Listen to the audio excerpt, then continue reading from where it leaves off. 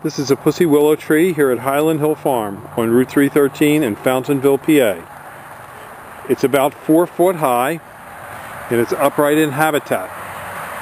And you can call us at 215-651-8329 for your pussy willow tree.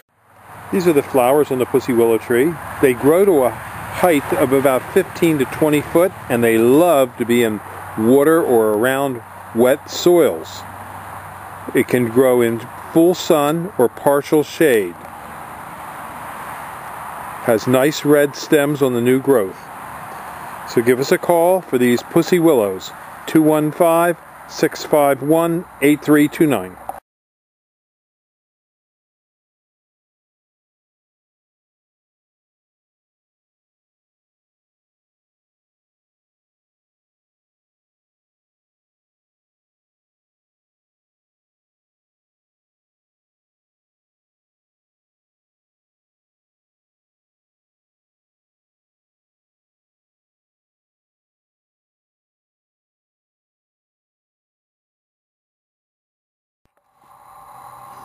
This is an example of a river birch. This is a heritage river birch.